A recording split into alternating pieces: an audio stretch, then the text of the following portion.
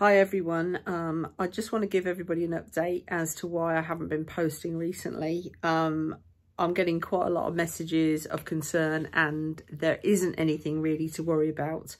Um, but just to really give you the update, mum is home, you know that. Um, she broke her hip back in May. Um, and I have found that that does present quite a big burden on my head. I worry about her a bit and um, I'm around there quite a lot. Um, luckily, I'm in the same village, so I can easily visit.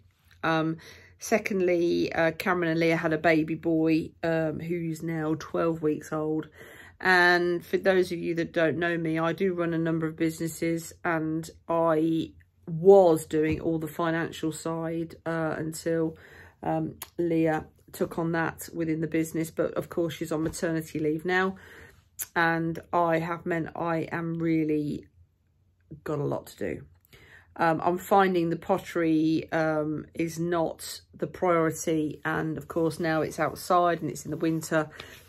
It's uh, something I'm trying to do at weekends or whatever. And I'm just not getting out there um, as time is running out. So everything is fine. Bear with me. I have some uh, lamps that are fired there that I need to glaze. I've just put an order of glaze in. I will make sure I video that. I'm just going to have a look through because I think there might be some other bits of video that I have done that I didn't post. Um, but I do appreciate all of everybody messaging me and asking me, am I okay? It's very kind. And um, I hope everybody out there is being safe and looking after themselves with everything that's going on at the moment. So thanks again. See you soon. Bye for now.